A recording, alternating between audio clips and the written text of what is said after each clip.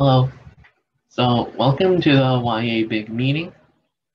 And so, today, the first part of the meeting will be a guest lecture by Ricky Chung. And so, Ricky is the current YEA VP of STEM, and he is also a top scorer in the 2021 USAPhO. And so, can Ricky please start uh, start the lecture now? Um, hello, everyone. I'm Ricky, and today um, I'm going to be doing a special uh, guest lecture on the special theory of relativity. So, um, yeah, let's get started. Um, um, okay.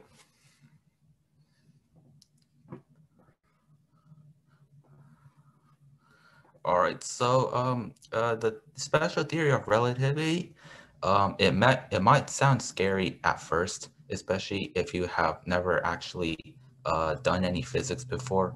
But um, here we here uh, the point of this is to show how we can derive some of the basic um, principles uh, in the in the theory of relativity um, for, with some very basic, with some very simple methods um, from some uh, very simple like um, postulates about relativity. So um, we'll show how relativity is derived and that it really is not um, all that scary as you might think if you think it is scary, if you haven't learned physics yet. So uh, you should be able to understand this if you haven't, if even if you haven't learned any physics.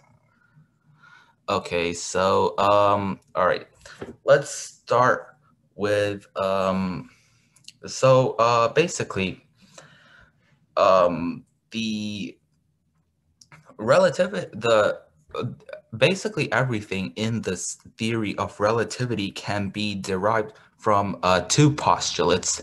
Uh, the first of these postulates is that um, from the first of is that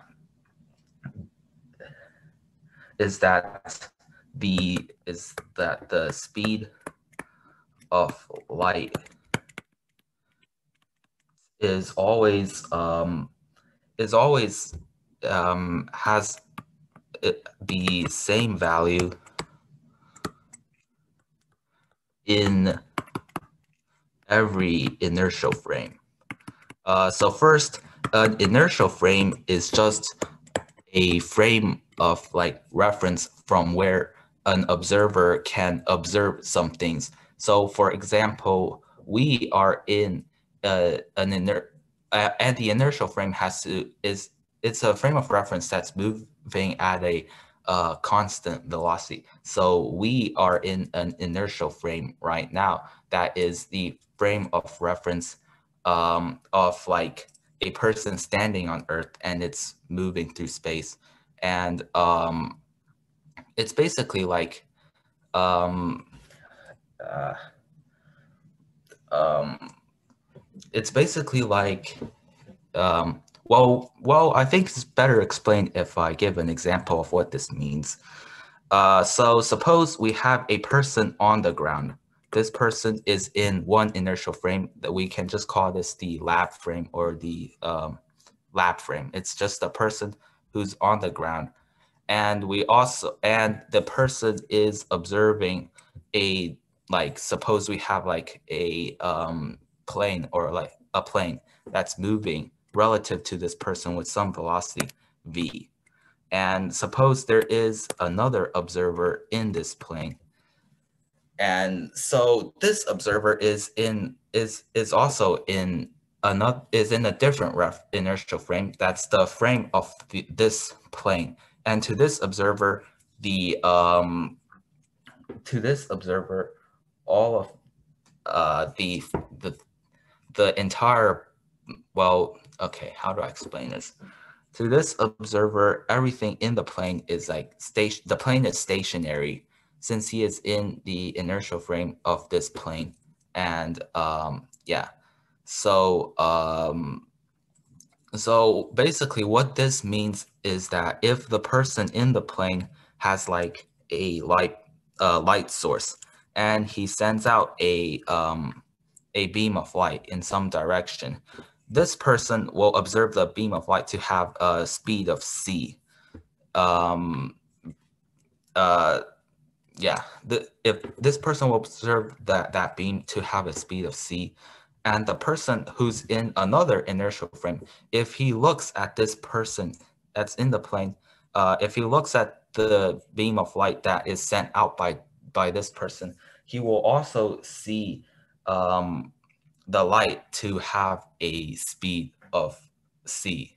So um, that's kind of uh, counterintuitive because um, in in um, in like ordinary everyday things, if the person in the plane like throw um, like shoots a bullet with some speed c, then he will speed see the bullet have a speed c, but but a person on the ground will see it having a speed of c plus v. But in this, but in the case of um, light, light, this uh, um, the person on the ground will not see the light beam have a, having a speed of c plus v. Instead, he will see the light beam having a speed of c. So that's the first postulate. And these postulates, like they can't really, they they are um, we know these postulates are true because experiments have all shown that these postulates are true. Um, like, for example, the Michelson-Morley experiment, which basically had two uh, sent out, had like, it was basically uh, a contraption with like one, one, um, with two, two, like, that sends out two beams of light at a right angle. One of the beam one of the uh, beams of light will be was sent out in the direction of the um, in the same direction as the Earth's um, movement, and the other beam of light. Okay, wait. One beam of light was sent out in the same direction as the Earth's movement. So if this contraption is put on Earth, if the Earth has a speed v in that direction, one beam of light is sent out in the same direction as that speed v, and the other beam of light is sent out like towards the pole, so perpendicular to this. Um, from classical, um, from classical, like if we just look at like, if we assume, if from like classical mechanics, then the beam that it's in the same direction, uh, they these beams of light will have different speeds if we look at it from like a classical mechanics view, but uh, um, since this beam is in the same direction as the Earth, it will have a speed of c plus v, where v is the speed of the Earth, and this will only have a have a um, this will only have a speed of c. But but as it turns out, they could there was no observed difference in the velocities of the light. Instead of this having a velocity of c plus v, it will just also add a velocity of c. So uh, that's like one experimental evidence for how the speed of light is same in every inertial frame. Uh, yeah. And the set and uh, there, there's two. So this is the first postulate in relativity. There's two postulates. The second postulate is that um, is that like every uh, inertial frame is uh, the same or like equivalent. Uh, equivalent.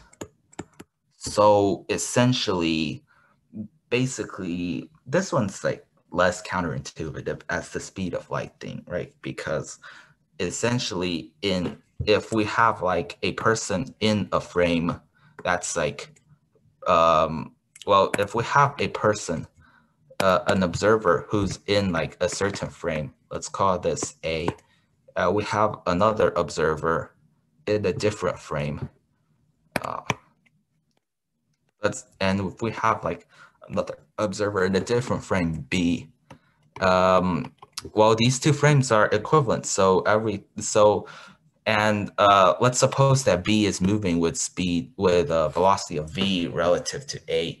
These um, these frames are equivalent. So essentially, a person A, uh, person in in his frame A will feel will like observe um, the act the same phen phenomenon as the person in the uh, B frame. Because essentially um yeah. So like if the person in in the a frame it just looks at everything um in a he can't figure out if he's moving or not. And the person in the b frame uh if the person in the b frame like will believe he is uh stationary and at rest and that the person and um and will and he can't observe himself moving so um I'm not sure if that was a clear explanation, but essentially every reference frame is the same. To the person in the B frame, the person in the A frame is moving backwards with a velocity of V. So he can't tell that he is he is the one moving.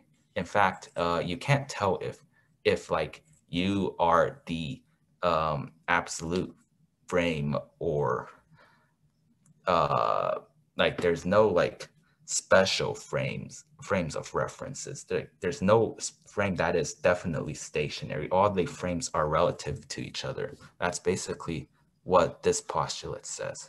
I don't know if that was a clear explanation if it what if it's not clear then uh, please ask um anyway let's go on to some of the to some of the um, results of these two postulates. So um, we can, so from these two postulates, we can derive like a large number of different results. Um, yeah. So let's look at some of them. One important result from these two, from this is um, is the is the phenomenon of time dilation. Uh, this comes from these two uh, from the two postulates in relativity. So uh, let's look at what this is and how this comes about. So basically, imagine if we have uh, one reference frame. Okay, wait. So if uh, suppose we have like one reference frame. Uh, let's call this reference frame S and we have another reference frame. And this, okay, uh, wait. Um, okay, wait, no, never mind. Uh, suppose we have a, uh, hold on.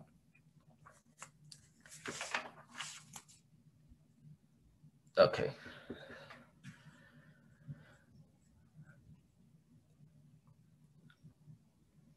Okay, wait. Uh, okay, so uh, basically, suppose that we have like a, a spacecraft, and on this space, and um, we have two observers. Uh, one is observer um, A. He is on the spacecraft, so he is in the spacecraft's reference frame. And we have another observer B, who is not on the spacecraft. He is in a different reference frame and the spacecraft is moving with a velocity of v with respect to b.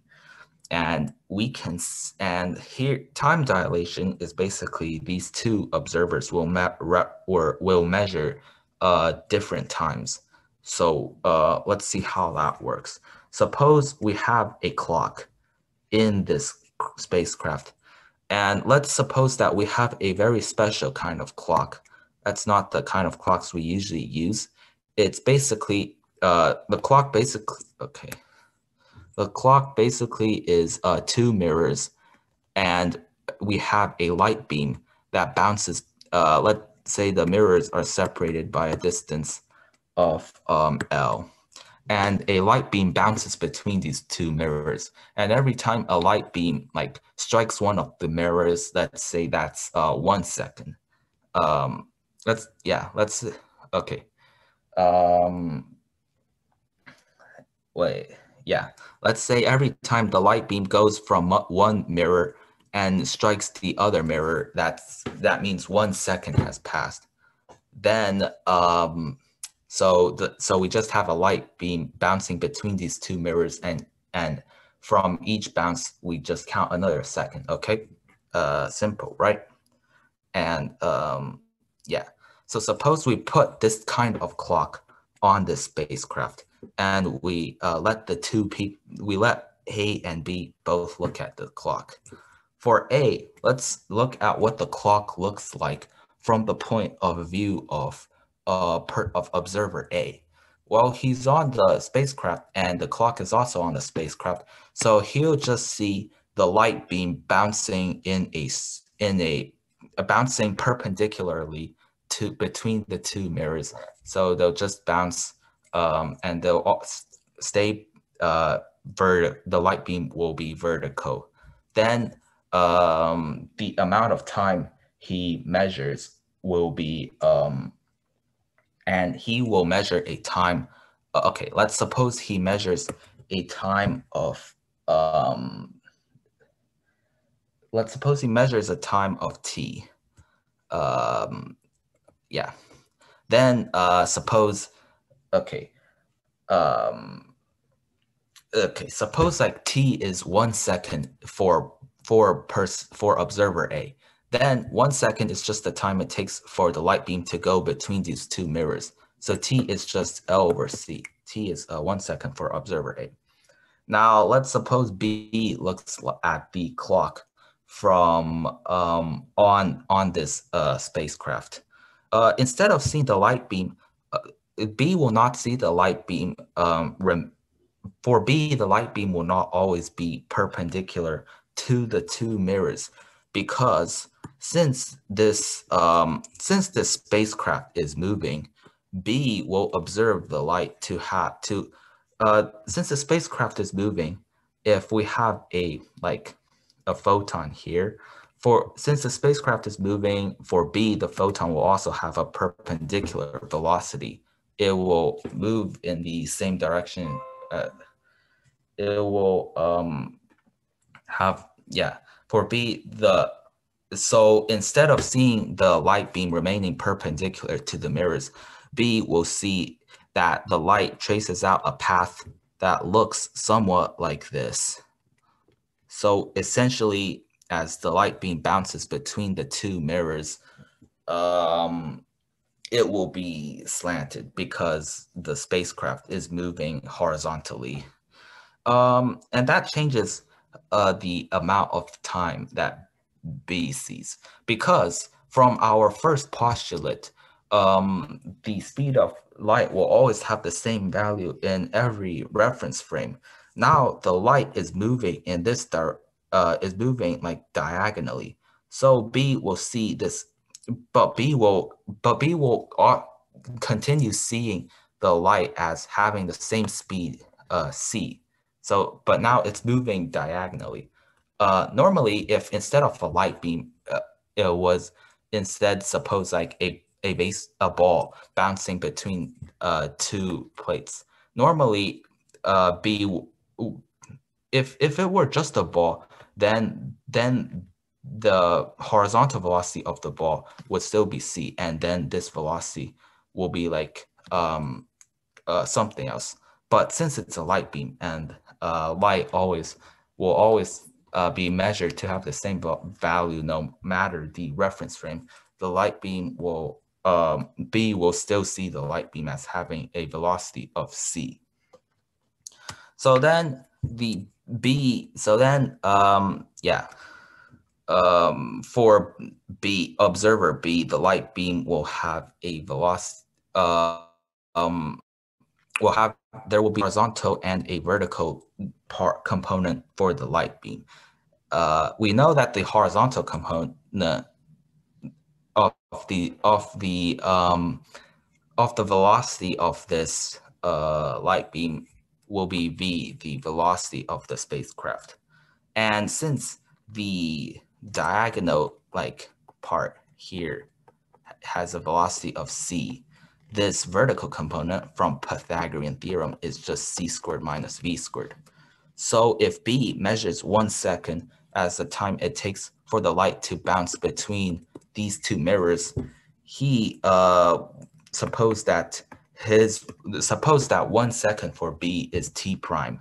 Then he will measure the light to have a um, t prime to be L over square root c squared minus v squared because for b the horizontal um, velocity of the light be I'm not the horizontal the vertical um, velocity of the light beam will be square root c squared minus v squared. So as you can see, the second measured by observer A and B are clearly different.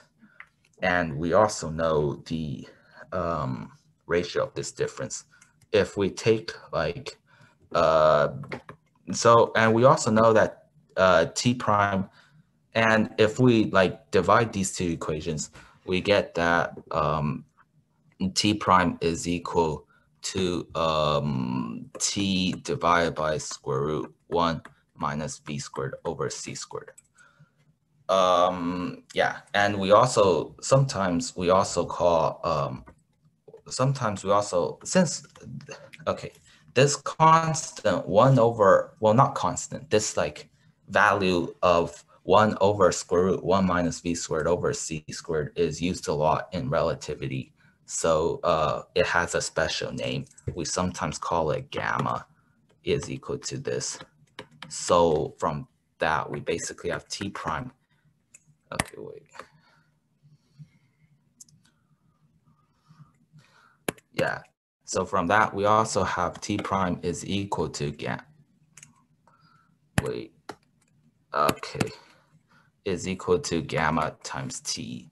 So essentially for like, um, so essentially if, if observer A measures a certain time T, then observe in that time, observe if B also measures a time in that time, they will have a they will measure different times. Um, a will measure if A measures a time of T, then in that in that same uh, amount of time, B will also will measure a time of gamma times T of T over one minus one over of T over square root one minus V squared over C squared. And um, and uh, this this uh principle this yeah so basically and um if a has like a, a different type of clock like just a normal clock instead of this special clock he will there he will they will still um it will still the if yeah so um, this clock might might seem to be a very special clock. So it might seem like this is a special case, but it really isn't because if A has a different clock, that clock must measure, if A has like a different clock and it's a normal clock, then that clock must measure the same time as this special clock measures because otherwise, if they do not measure uh, the same time, a could potentially figure out that his reference frame is moving. But from our second postulate, the, the, there are no special, from our, spe the second postulate implies that a person inside a reference frame cannot figure out that, but inside an inertial frame cannot figure out that uh, their inertial frame is moving. Okay, so any questions about this? We have because of time dilation, we have that uh, be uh, stationary if an observer looks at another observer. If an observer is moving and an observer is stationary, they will measure different times and the times will have a ratio of gamma. Are there any questions? Okay, let's move on. Um, so let's look at another effect of these two postulates. That is uh, length contraction. Basically, in our in time dilation, uh, two observers in different reference frames will measure different times. But now with length contraction, two observers in different reference frames will measure different lengths. Um, if they measure the length of the same thing, they will measure different lengths. So let's look at how that works. Uh, yeah, so we basically have the same thing. We have like, suppose we have like a train and this train is moving with velocity v and we have an observer a in this train and he has to measure something um oh yeah and we also have an observer b and let's say the observer b is like stationary and the um the train is moving with a velocity of v relative to b if they measure um yeah okay so um, suppose, so here we look at length contraction. Suppose we have like some object on the train. So uh, let's say it's on the train. So um, A is stationary relative to this object. Let's say it has a length. Um, okay, wait. Um, let's say it has a length of L prime relative to A and uh, L relative to B, I think. Uh, oh, wait, never mind. Um, hold on. Yeah, let's say that this object has a length of L prime relative to A and a length of L relative to B. Um, okay, so, so if B looks at this object, he will look he will observe it to have a length of L. Um, so um, let's let's see how they will measure different um, lengths for this object. Suppose A measures the object in um, this way. He puts a mirror at the end of the object. Then he has he shoots a light beam at the mirror and lets it bounce back. And from this, from the time it takes for the light beam to travel that distance, he will um, measure the um, um, okay. Um, let's say from the time it takes for for the light beam to travel from from his light source to the mirror and bounce back. Uh, let's say he takes that time and he and he use and he like multiplies it by the speed of light to find the to find L prime. Uh, yeah. So um, let's look at the time it takes in um, A's frame. Uh, suppose it takes a time of T prime in his frame.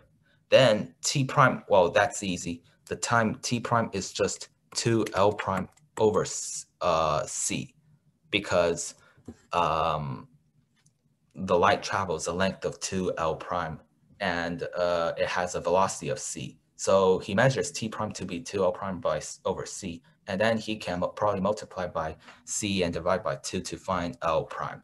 Uh, he measures the time t prime. But uh, let's suppose um, B looks at this object.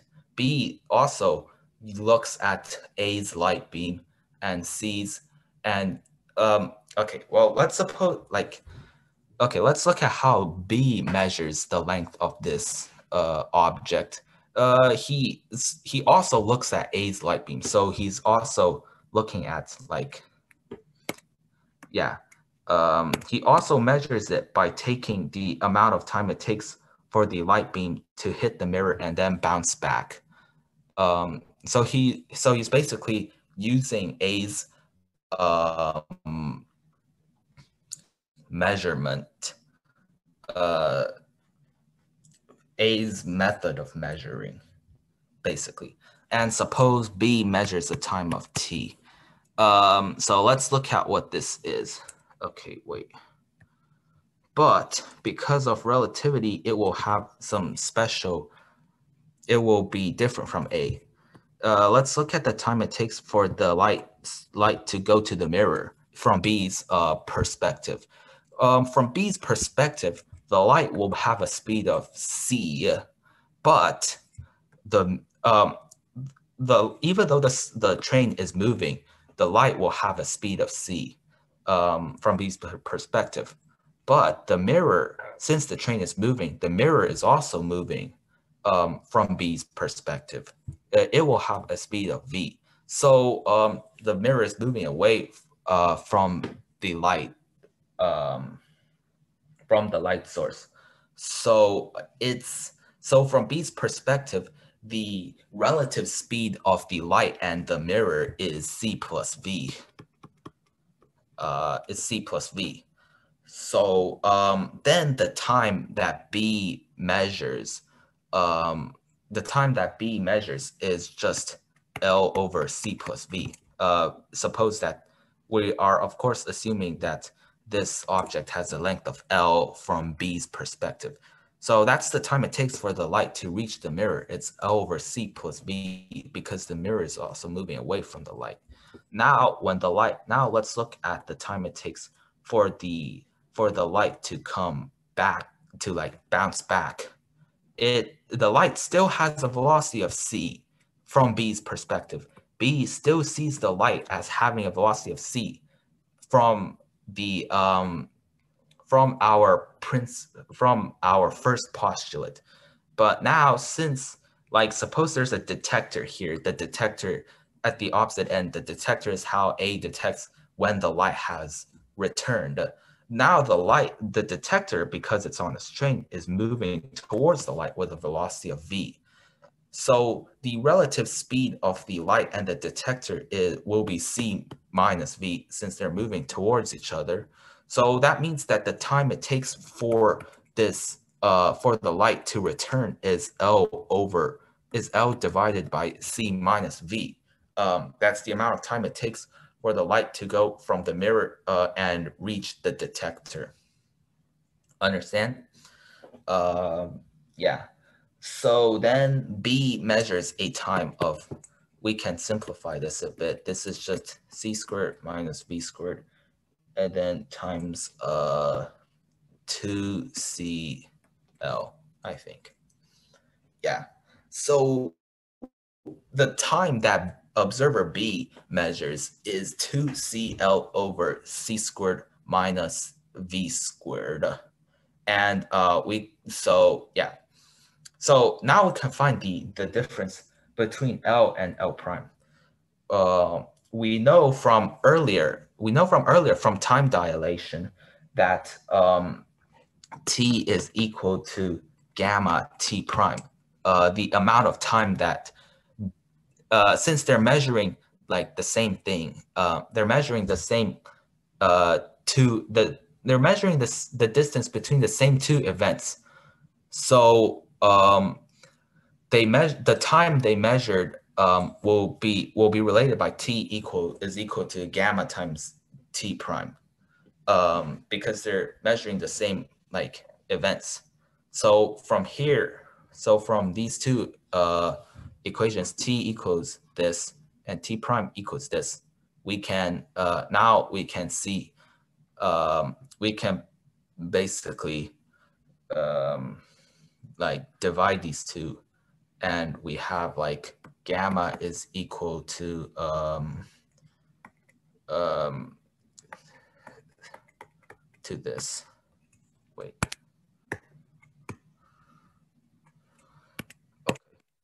Hold on. Gamma is equal to um, C over C squared minus V squared times L over L prime.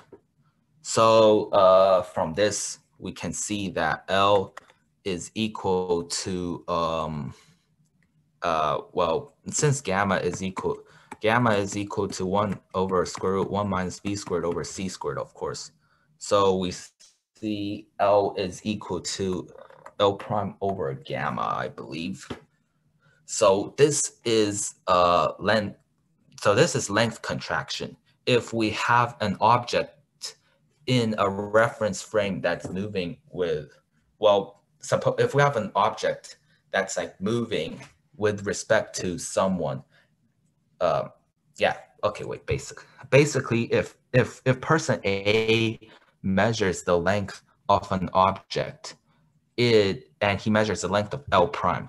And if if per the the reference frame person A and this object is like if it's in a train and it's moving with velocity of v relative to person B. The length person A measures will be L prime, and the length person B measures will be L, then L equal to L prime over gamma. Now, uh, note something here. Gamma is equal to this.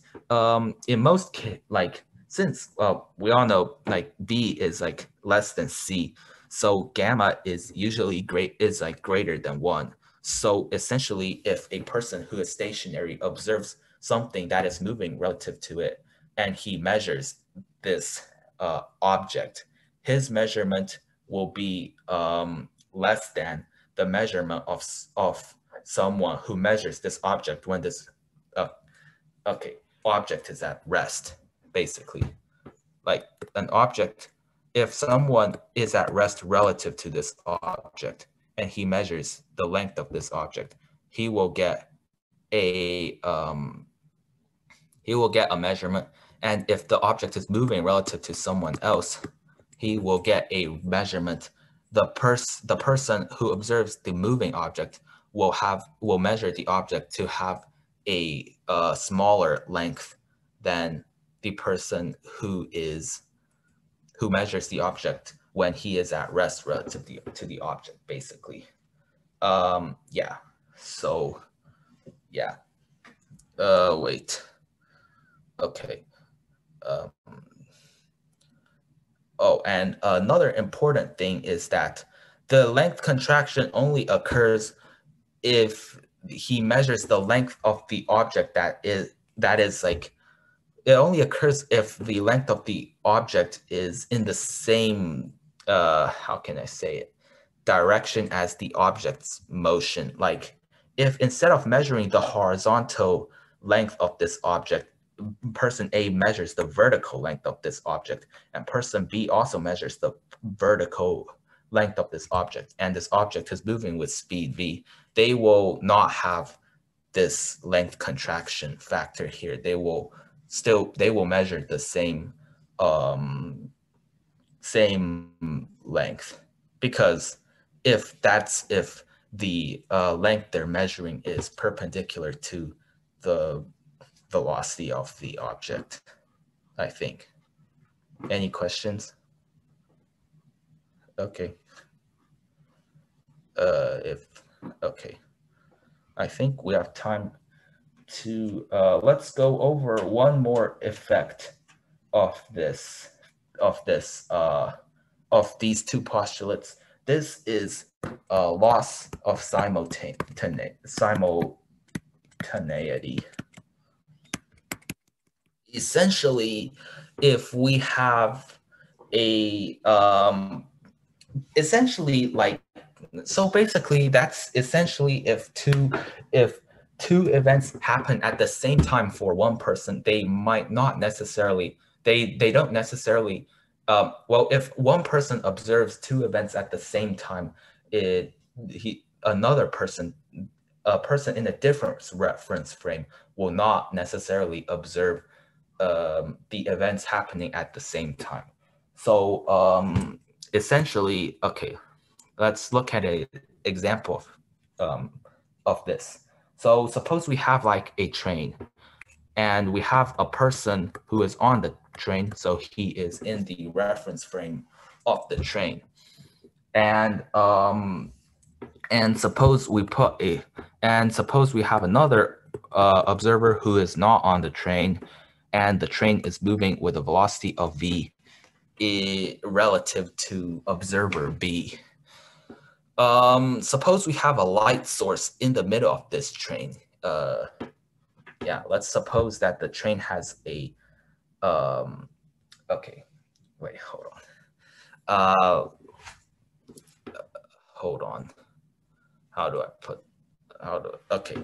Yeah, suppose we have a light source in the middle of the train and the, and the light source sends out two beams of light at the same time towards the opposite ends of the train. So these are beams of light. And uh, uh, observer A on the train will observe the, the beams of light um, hitting the ends of this, um, will observe these beams arriving at the ends of the train at the same time. right? Because um, observer A will, because basically for observer A, these these beams of light will, uh, okay, yeah, will he will okay. Let's suppose that the train has a, okay, wait, hold on. Let's suppose that the train has a length of 2L prime relative to observer A as we, and that so so that uh, this light uh, beam of light is in the middle. So one one of the things here, one one the length for the beam on the left is L prime, and this is also L prime.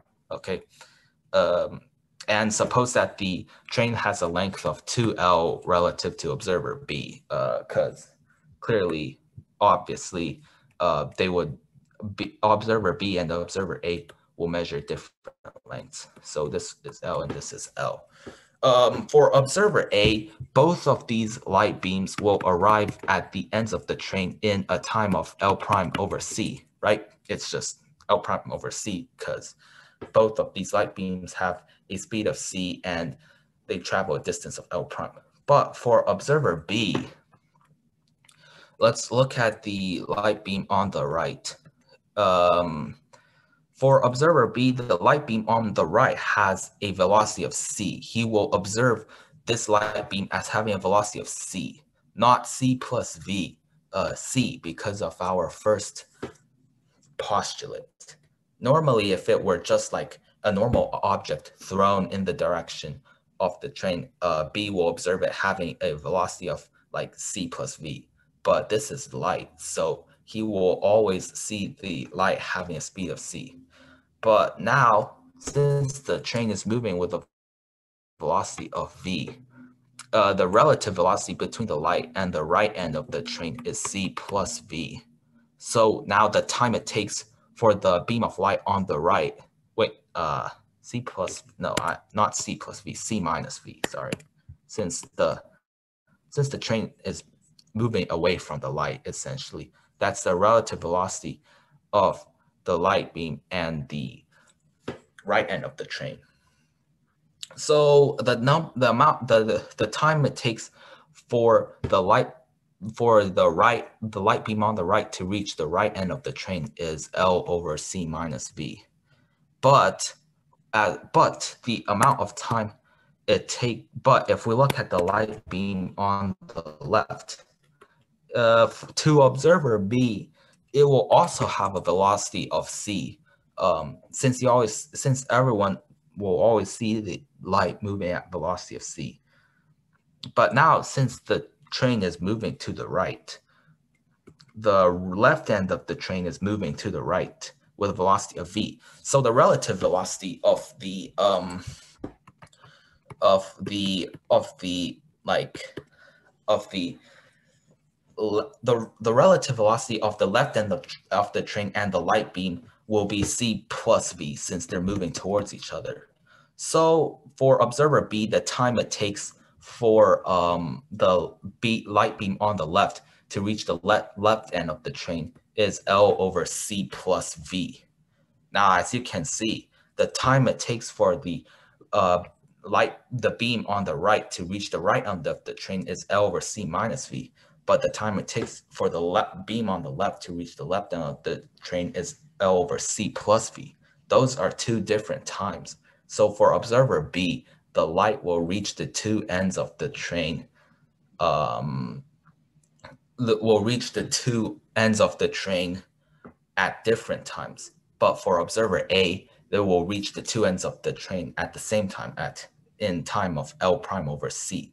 So uh, the light, so for observer A, the, the light beams reaching the end of the trains will be simultaneous, but for observer B, they will not be same simultaneous. It will take different times. So that's what we call loss of simultaneity.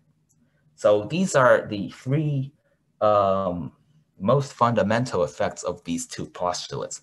And from these two, from these effects, we can derive all sorts of uh, new like things, new uh, all sorts of like stuff about relativity, such as the Lorentz transformations, which are basically the transformation of one reference frame to another. And um, those are like important for calculations in relativity. And um, yeah, so from these, those are, these are the time dilation, length contraction, and loss of simultaneity are the most important, are the three most fundamental effects of those two postulates. And from those three, we can get a whole lot of other um, effects in relativity, like Lorentz contraction. But we have run out of time and we will not go over them uh, today. Yeah. So um, yeah, thank you. For, thank you everyone for listening.